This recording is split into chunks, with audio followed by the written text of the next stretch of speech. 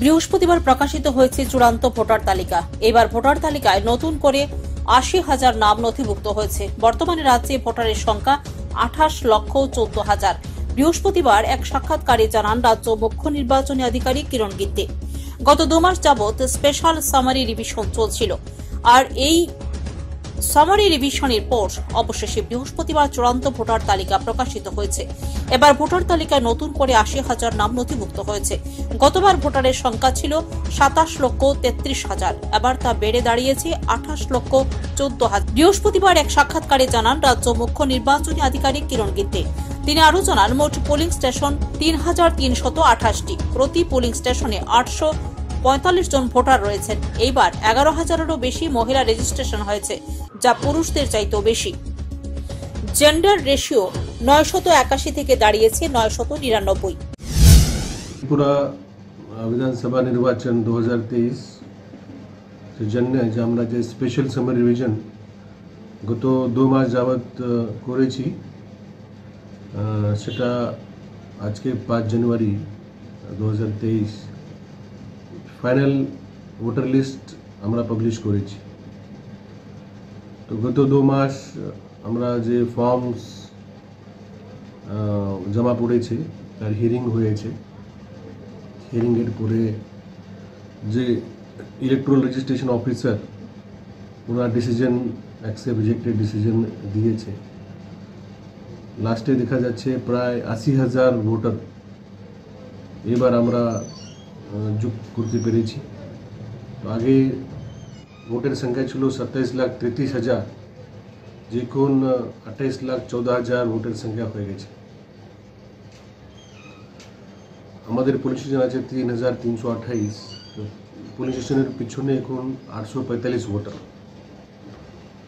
আর এবার আমরা এগারো হাজার মহিলাদেরকে বেশি পুরুষ থেকে বেশি আমরা রেজিস্ট্রেশন করতে পেরেছি এই জন্য আমাদের যে জেন্ডার রেশিও ভোটার তালিকা এটা ইম্প্রুভ হয়েছে প্রায় নাইন এইটি ওয়ান থেকে নাইন নাইনটি নাইন তার সঙ্গে ইলেক্টর পপুলেশন রেশিও যে আছে এক হাজার পপুলেশনের পিছনে কতজন ভোটার এটা আগে ছিল সিক্স ফোরটি সেভেন যে কোন ছয়শো ছেষট্টি হয়ে গেছে তার সঙ্গে যে ব্রু ফ্যামিলিজ রাজ্যের বারোটি জায়গায় যাদের রিহ্যাবিলিটেশন হচ্ছে, প্রায় তেরো হাজার পাঁচশো ব্রু ভোটার্সকে আমরা এনরোল করেছি। ব্রু ভোটার জন্য পোলিং স্টেশনও দেওয়া হচ্ছে। তো আমরা আশা করছি এই যে আমাদের সামার রিভিশন হয়েছে, এই সামার রিভিশনের পরে যে ভোটার লিস্ট আমরা আজকে পাবলিশ করেছি পলিটিক্যাল পার্টিকে আমরা শেয়ার করেছি, তার সঙ্গে সঙ্গে আমাদের ওয়েবসাইটেও পিডিএফ ডকুমেন্ট আছে। এরপরেও যদি কারও কোনো যদি নাম নথিভুক্ত হওয়ার বাকি আছে, অথবা কোনো ভোটার তালিকাতে কোনো ইম্পিউরিটি দেখা যাচ্ছে, তো আমরা কন্টিনিউয়াস আপডেশন মধ্যেও আমরা কিছু অ্যাডিশন ডিলিশন করতে পারি। এটা লাস্ট ডে অফ নমিনেশন করেন চলে। তো এই জন্য আমি সবাই যে ইয়ং ভোটার্স পার্টিকুলারলি যারা আহ, প্রথমবার উনি ভোটার হবেন এই বছর উনি রেজিস্ট্রেশন করেছে প্রায় পঁয়ষট্টি হাজার আমি সবাইকে অনুরোধ করব আপনি আপনার ভোটার অধিকার আপনি প্রয়োগ করুন আর আমাদের যে পুলিশ স্টেশন মধ্যে আমরা সব সুবিধা আমরা দিচ্ছি আমি আশা করব যে ভোটার তালিকা নিয়ে আমরা সুষ্ঠুভাবে নির্বাচন করতে পারব। রাজ্যের বারোটি জায়গায় ব্রু পুনর্বাসন দেওয়া হচ্ছে। তেরো হাজার পাঁচশত ব্রু ভোটারকে ভোটার তালিকায় নথিভুক্ত করা হয়েছে। তাদের জন্য রয়েছে পৃথক পোলিং স্টেশন। এই ভোটার তালিকা নির্বাচন কমিশনের ওয়েবসাইটে মিলবে। এরপরেও কারোর কোনো নাম নথিভুক্ত করার বাকি থাকলে বা ভোটার তালিকায় কোনো সংশোধন করার প্রয়োজন থাকলে তা ধারাবাহিকভাবে চলতে থাকবে বলে জানান তিনি। মনোনয়নপত্র জমা দেওয়ার শেষ দিন পর্যন্ত এই প্রক্রিয়া চলবে। এবছর পঁয়ষট্টি হাজার নতুন ভোটার নাম নথিভুক্ত করেছে। সকলের কাছে আহ্বান জানান তাদের ভোটাধিকার প্রয়োগ করার জন্য। মুখ্য নির্বাচনী আধিকারিক আরও জানান, ছয় হাজার তিনশত দুই ব্রু পরিবার পুনর্বাসন হওয়ার কথা রয়েছে। তার মধ্যে পাঁচ হাজার পাঁচশত পাঁচটি পরিবারের পুনর্বাসন প্রক্রিয়া সম্পন্ন হয়েছে। আটশোটি পরিবার বাকি রয়েছে। এক্ষেত্রে পঁচাশি শতাংশ সফলতা এসেছে। বারো থেকে পনেরো শতাংশ বাকি রয়েছে বলে জানান মুখ্য নির্বাচনী আধিকারিক।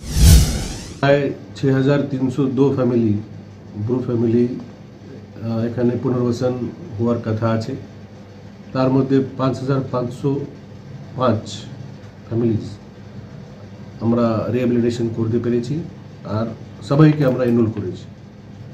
আপ লাস্ট ফ্যামিলি এখনও যদি কোনো ফ্যামিলি ওখানে ওরা পুনর্বাসনের জায়গাতে যাবে, আমরা সঙ্গে সঙ্গে এটা এনরোল করে দেবো। প্রায় আটশোর মতো ফ্যামিলি রয়েছে।